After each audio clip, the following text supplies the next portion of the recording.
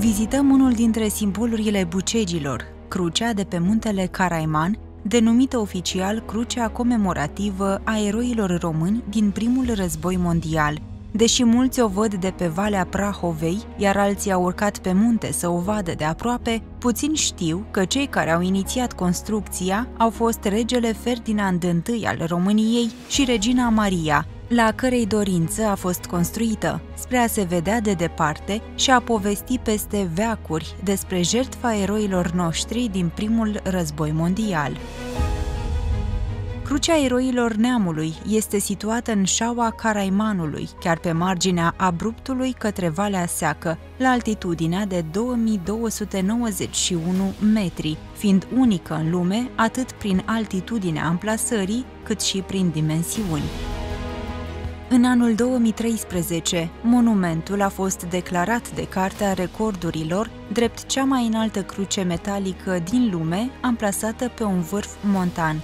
Pe platoul Bucegilor, în anul 2018, preafericitul părinte Daniel, patriarhul României, a sfințit piatra de temelie pentru un lăcaș de cult care va fi închinat eroilor neamului. Biserica va avea o suprafață de 250 metri pătrați și va servi și ca loc de adăpost în caz de furtună pentru pelerinii și turiștii care se află pe munte.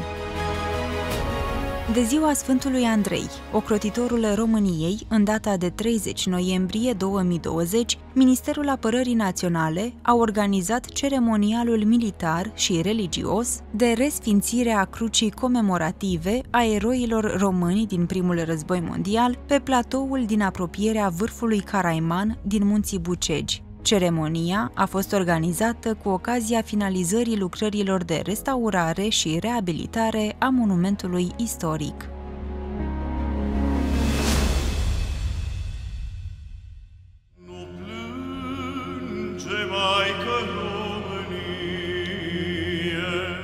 Tot în amintirea eroilor din primul război mondial, în cimitirul de la pasul Tabla Buții, din județul Prahova, este scris pe zidul monumentului.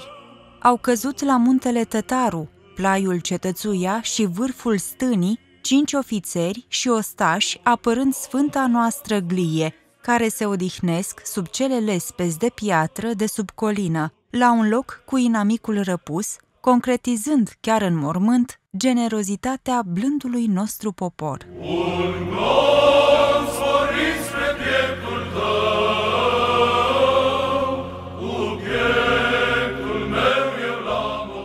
Ca să ajungem la cimitirul eroilor de la Tabla Buții, aflat pe teritoriul comunei Cerașu, din județul Prahova, am parcurs un drum pastoral din satul Slon până la vechea graniță dintre țara românească și Transilvania, la o înălțime de 1400 metri.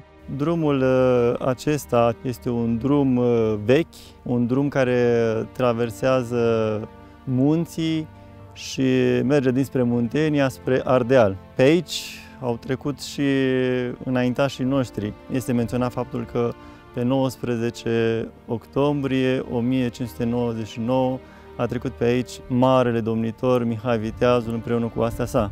De asemenea, Petru Rareș trecea pe drumul acesta către domeniile sale din Ardeal.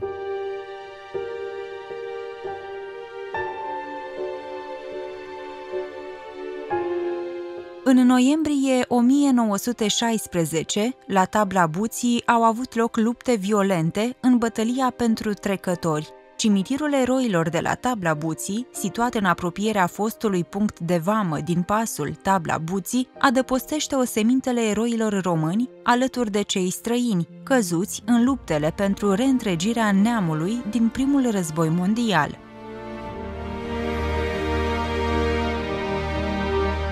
Ne aflăm uh, în cimitirul eroilor uh, de la Tabla Buții. Odinioară acest loc uh, servea pentru cei care veneau și traversau dincolo de Vama Buzăului către Ardeal. Mai târziu a devenit, iată, acest loc din cetatea Tabla Buții, câmpul de luptă de la Tabla Buții, care a adus multă jertfă pentru reîntregirea neamului, pentru libertatea și demnitatea poporului român. Faptul că aici este un cimitir al eroilor îl datorăm părintelui Ioan Vasilescu, părintele slujitor al satului Slon. Acesta, cu propriile sale mâini, în anul 1922, a îngropat aici trupurile ostașilor cu prohodire, indiferent de naționalitatea și proveniența religioasă a acestora. Pentru a afla identitatea lor, a căutat în ranițele lor, în hainele lor, acte de identitate. Și cei care astăzi au numele trecute pe cruci sunt doar aceia cărora li s-au găsit documente. De la acest moment al înființării cimitirului eroilor de la Tabla Buții, în fiecare an, în data de 6 august, preoți și credincioși urcă la cota 1340 pentru a înălța rugăciuni de comemorare a celor care și-au dat viața pentru apărarea patriei lor.